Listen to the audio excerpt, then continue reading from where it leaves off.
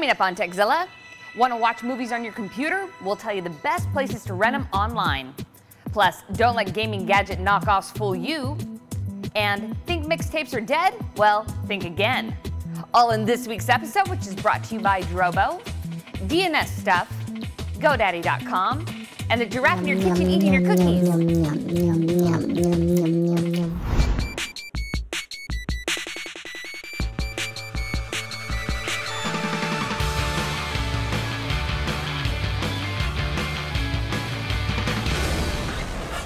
Hello and welcome to Tekzilla. I'm Jessica Corbin, And I'm Patrick Norton. and it, it's good to be here. This is very good to be It's here. very good to be here. There's something brand new to the set, people. Can you figure it out? Can you figure it out? It's Barb, Barb the plant. We brought her on for a little cameo appearance. Hope you enjoy her. She's big on OS 10 tips. She'll be doing one later on in the show. Anyway, Pat, how are you? It's, uh, it's a little strange. You're a little strange, I know. Lack of sleep, baby was sick, and I ended up sitting in a car in the middle of Pier 39.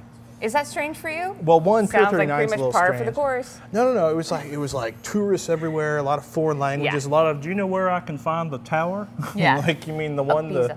Yeah. Yep. yeah. So anyhow, it's like a local mall tourist attraction. Yeah. And sitting in a Ford car, Uh-huh. sitting in a, uh, Focus actually. Yeah. Because I was getting a demo of the new sync system. Yeah. It actually worked. It did. That was the weirdest part. Well, can you fill our viewers in on what sync is? Well, okay, so Ford Sync, right, is a voice control. Uh, well, let me let me use their phrase: an in-car voice-activated, fully integrated entertainment and communication system, which is a horrible name for basically it's voice control of your stereo. Works with like an iPod or a Zune, um, Bluetooth, Bluetooth communications, including dialing your cell phone and text messages, and it's built by Microsoft. Yeah. And yes, the first thing I checked is to make sure you can update the software by like inserting a USB. So it's all integrated into the dashboard. Nice. And the really interesting thing is they use a blend of controls on the steering wheel, right, along with the actual voice controls. Uh-huh. So to do a voice command, you hit a button on the on the steering wheel, and it's like goes into voice mode, and then it uh-huh. recognizes your voice. So you give it a command.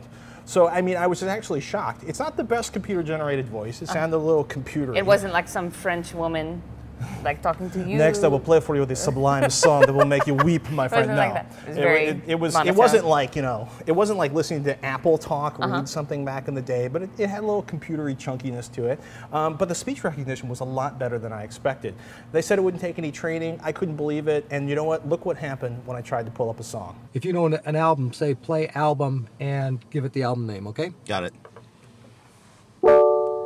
USB, please say a command. Play album, rattle and hum.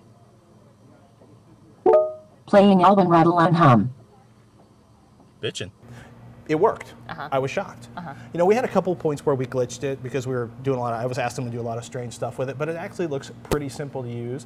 And uh, it's not too bad. They're not, it's not just a high end thing. They're going to be offering it on everything from the low end cars to the Lincolns. specific Ford. Well, it's going to be yeah, it's specific Ford. Uh-huh. Uh, it's going to be standard, I believe, on Lincolns, and uh, like four. Excuse me, four hundred ninety-five dollars in Canada. Uh-huh. Why I remember that I don't know. Three hundred ninety-five dollars as an option in the U.S. I am shocked that it works because uh, voice recognition, anything, just Right. it's everybody has, has thought that this really should, this technology really should be, you know, kind of buttoned up by Right. now, and it still falls flat in a lot of regards. So always think I'm glad to hear it. You know, it's like the quick brown fox jumped over the lazy brown dog, and you always see it type out as like M4 amba e off. You know what I mean? It's just if you if you had a Ford, would you buy it? Would if you, I was going to buy a Ford, I would definitely consider buying it, which Good. is shocking for me to say. It actually worked because the voice styling worked, um, pulling up songs or searching songs, picking up an artist. It had the ability to recognize something like Sade or Charday, depending on how you're saying it. That way. Sade. yeah.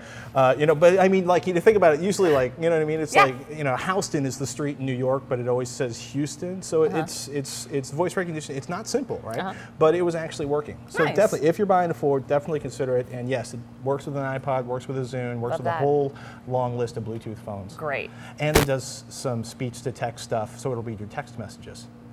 No, check it out. Nice.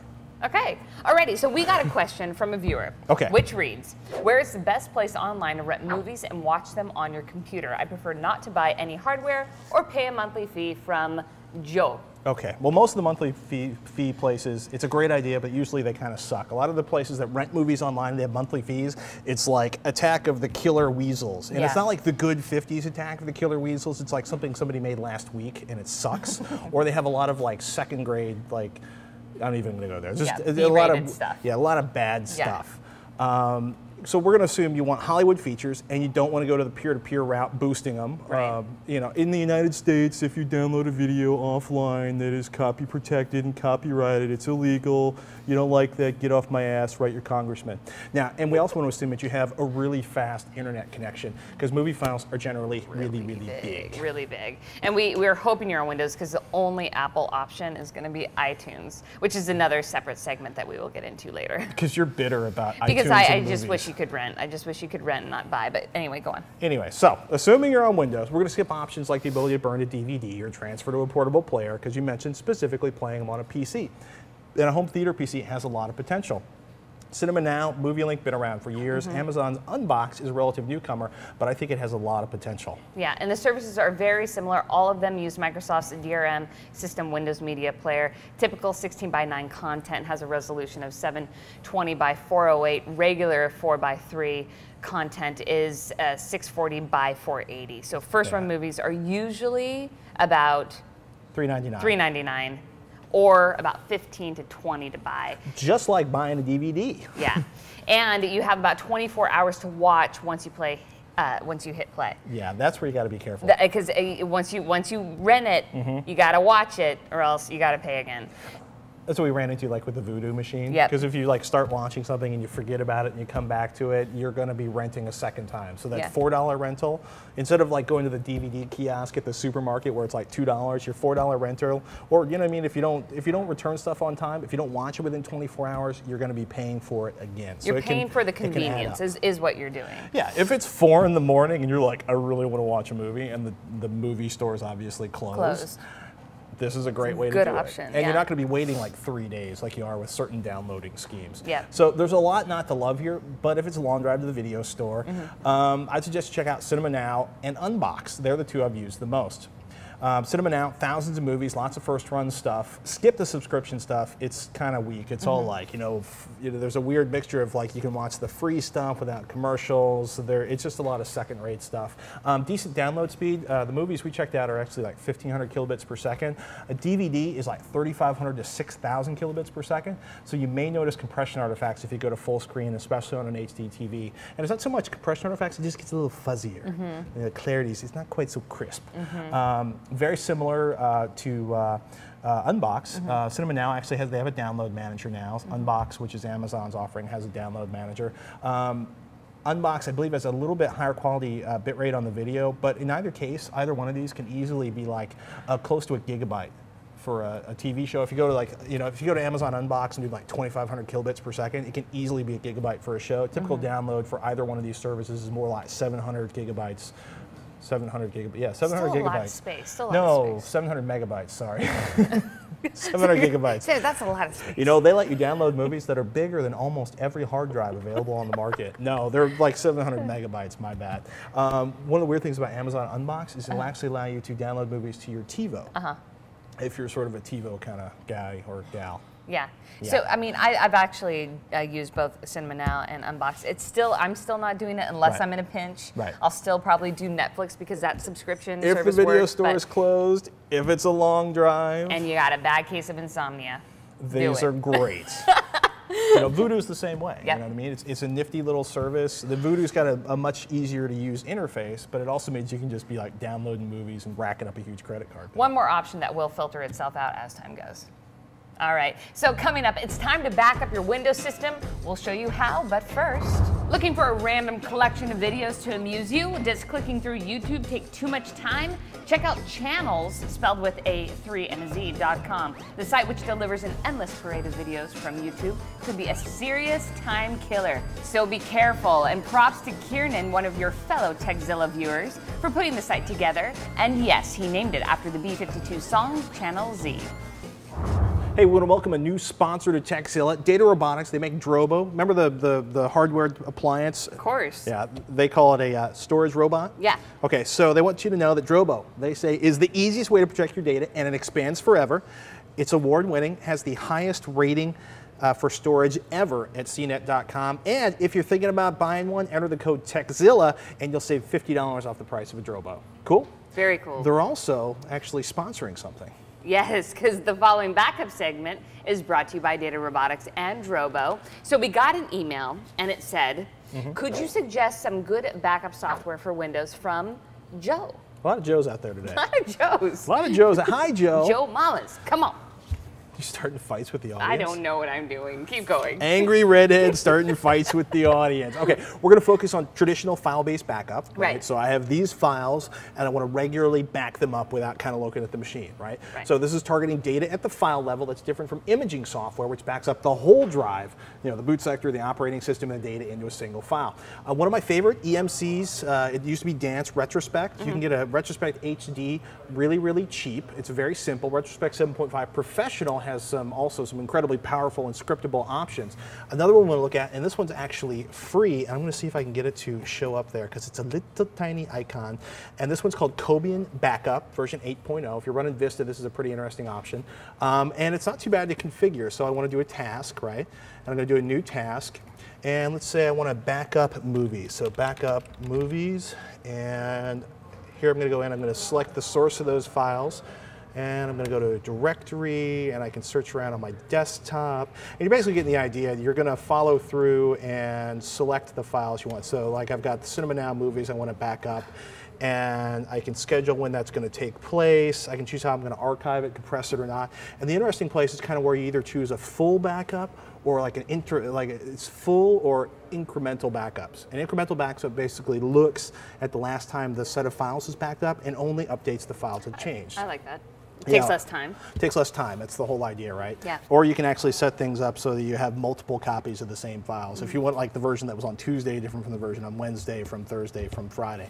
Um, but these are two easy examples for you. Uh, Retrospect Express HD, about 40 bucks. Um, Cobian Backup 8, free. Uh, all versions of Windows are covered. The uh, new version of Express HD uh, EMC, not a Vista version yet, although it is running on Vista right now, seems to be okay. So you might want to uh, be careful with that. 30-day free trials or free. That's- Joe, check them out. Check them both out, Joe. All right, so coming up, game gadget knockoffs. They're out there and they're really scary. But first, here's Heather with her producer pick of the week. I love fairy tales and legends and fables like Rumpelstiltskin and Rapunzel, Beauty and the Beast, Prince Charming, and the Big Bad Wolf. But now I'm all grown up, and instead of reading Hans Christian Andersen, I read Fables, a Vertigo comic book series written and created by Bill Willingham. There are nine total graphic novels that tell the story of real life fairy tale and folklore characters who've been torn from their homes by the adversary. The hardly seen Geppetto, who you may recognize as the woodcarver from Pinocchio, and forced to live amongst humans in Fabletown, a community in bustling New York City. Shattering realities exist in this world, like Snow White and Prince Charming being divorced because of a scandalous affair Prince Charming had. Of all people. For more on Fables, be sure to check out the interview with the writer creator Bill Willingham in episode 30 of iFanboy right here on Revision 3. Have you figured out what it is that, that people really love about this book? everyone knows the characters. So they've all got a starting point. DNS Report is a cool tool and the most powerful and comprehensive way to check the health of your DNS. 56 tests run against your domain in seconds. Get peace of mind at DNSstuff.com, a reliable go to site that has everything you need. DNS is vulnerable though. Remember, no DNS, no internet. Type Tekzilla into the coupon code when you buy a tool set and get 10 bucks off. How rad is that? There are a lot of knockoffs out there. Whether if it's faux handbags or cheesy watches off the street, they're out there. Now, one place that you don't expect to see knockoffs is technology. Usually what you see is what you get. Not in this case. Today, I'm going to be taking a look at gaming peripherals that are totally subpar, and joining me is none other than the gaming guru, Jeff Gerstmann. How's it going, man? It's going well. All right, you've had kind of a tough week. Uh, it's it's been a little weird. I'm no longer with GameSpot.com or CNET Networks, um, but uh, it's been very exciting. And you're enjoying sleeping in and Yeah, sleeping in, out. uh, playing a lot of Rock Band because I want to, not because I have to. There is a difference. There, there totally is. Now, speaking of Rock Band, um, I picked up this little gem, which is for $9.98 at Walmart. That's a bargain. It's a bargain, and you know, you, you have the microphone, Mm-hmm. you have um, you know the drums, and of course the guitar. As an And a whammy bonus- bar, you can't go wrong and a whammy bar, and a whammy bar, and as an added bonus, we have the keyboard. A key. So this is better than Rock Band. Right, it has have the- keyboard. Rock Band doesn't have a keyboard. No. This is great. No. No. But in all seriousness, people are probably going to be wanting to buy Rock Band or Guitar Hero 3. Yeah. Which one would you recommend? Uh, I think at this point, I'm, I'm going to say Rock Band. It's uh, it's a much more inclusive game. I think it's something that kind of the whole family can get into, and it's it's four player excitement. You know, you have one person playing the drums, one person playing guitar, another on bass, one person singing. Uh, when it all all those pieces fit together, it's really amazing. Guitar Hero 3 is a great game though, uh, but it's uh, become a lot more about just uh, you know crazy solos and really just this hand melting stuff that uh, that might not be as appealing to a lot of people. Unfortunately, they're not 9.98. What are the different cost points? Yeah, uh, the Rock Band bundle, where you get a drum kit, one guitar, microphone, and the game, is $170, and uh, then Guitar Hero is selling for around 99. Uh, the Wii version is slightly cheaper. And now moving on, um, probably one of the the most identical to the original is uh, this little pretend remote. Yeah, this is just a, a blatant ripoff of uh, Nintendo's Wii remote design. It's crazy. It's Yeah. completely crazy. And, and so this is like a, a driving game uh, that you can play, and it's got the little screen right there on it, and you tilt it. And How big do you think that screen is? Like seriously, like I don't even, it's like It's teeny tiny. smaller than a postage stamp. right.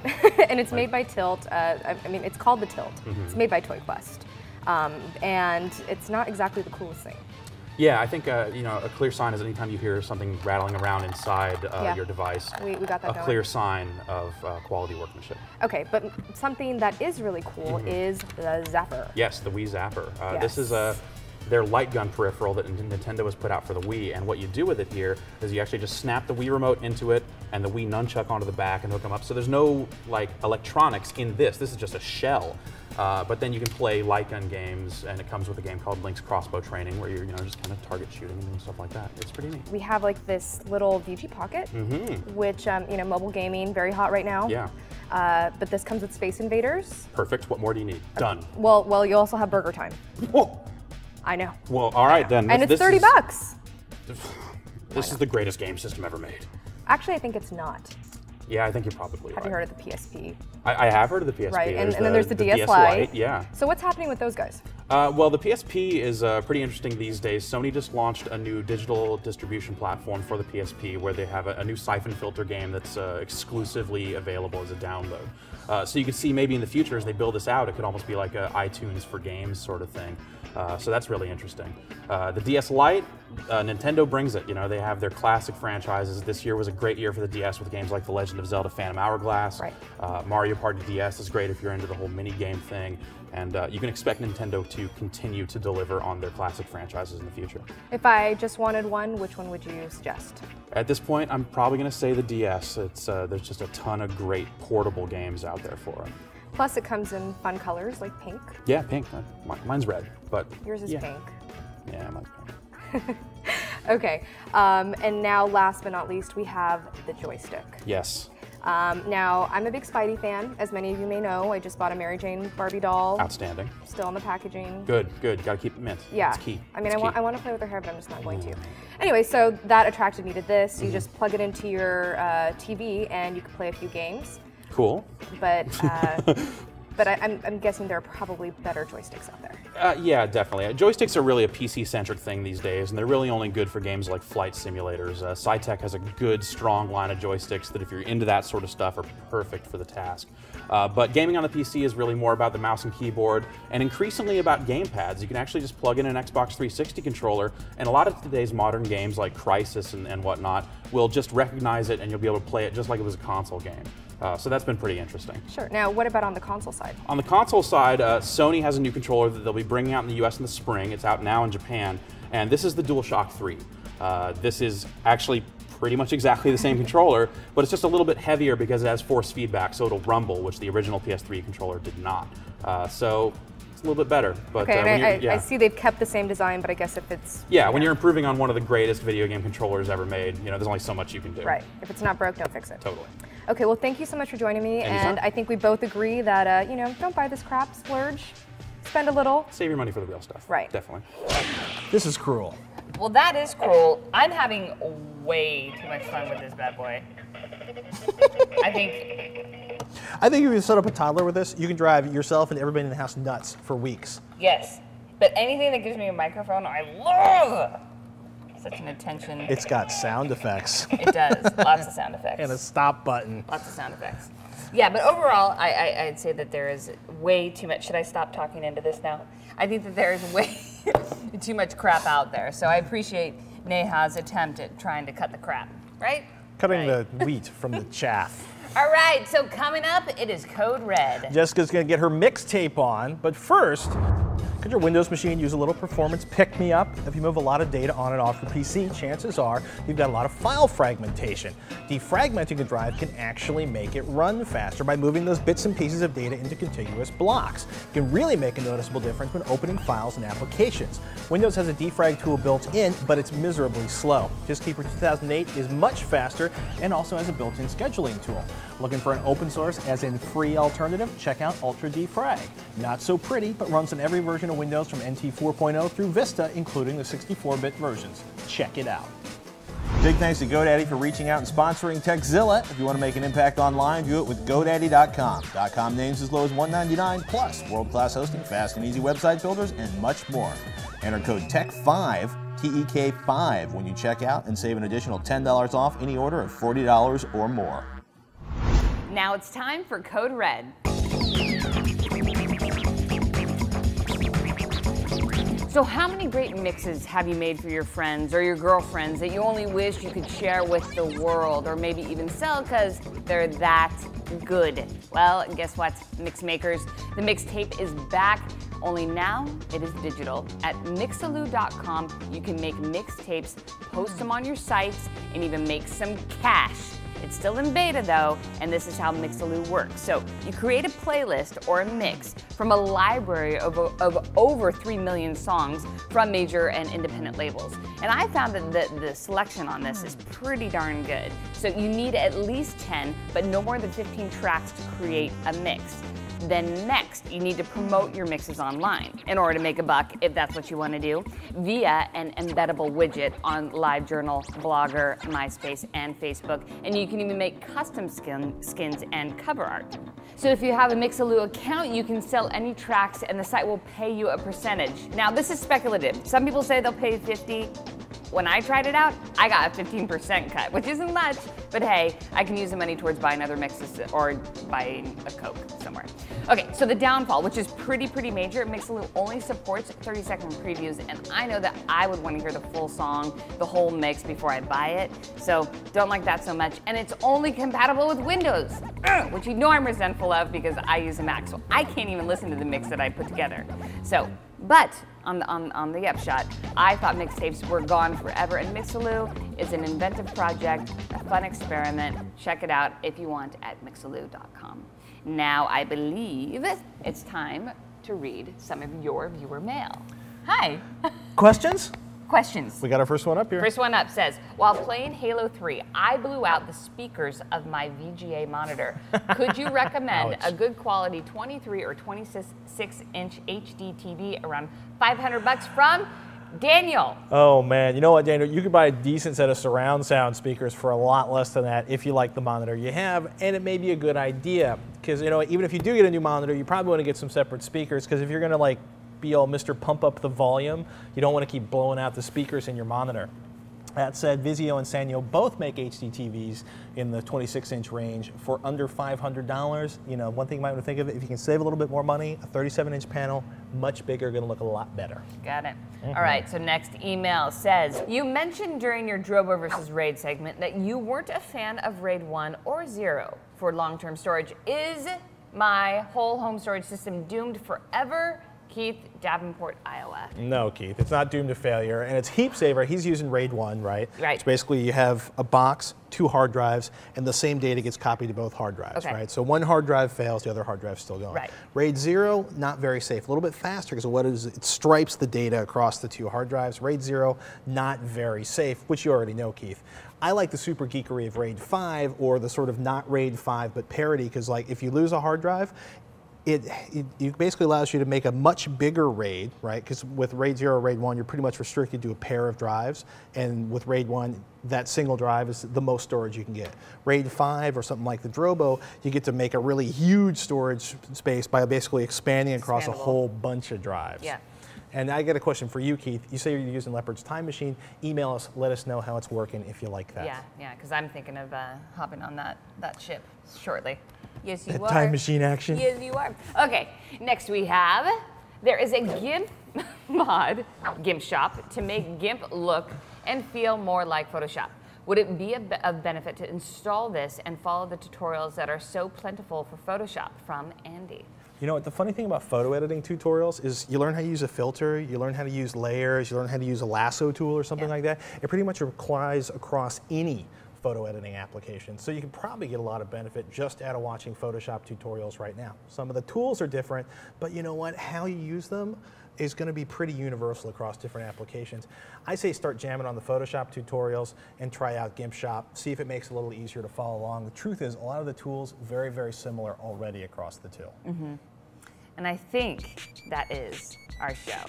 So don't forget to email us. We're always anxious to read your questions and comments. Remember, Tekzilla at revision3.com. You guys, it was a good one. Thanks, Patrick. I'm Patrick Norton. I'm Jessica Corbin. We'll see you next week. Bye bye.